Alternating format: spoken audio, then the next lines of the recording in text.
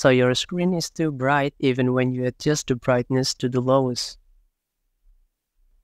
And you were hoping you get the darkest brightness like this, because you and I are Batman, so we're nocturnals. Fear not, I have a solution for you that is using an application called Dimmer. Just go to the creator website. I'll put it on the description and just click the download button. After you download it, you just need to extract it um, using 7-zip to extract it. The application is portable, so you don't need to install it like a usual application. You just run it and it will work. And it work on um, multiple monitors.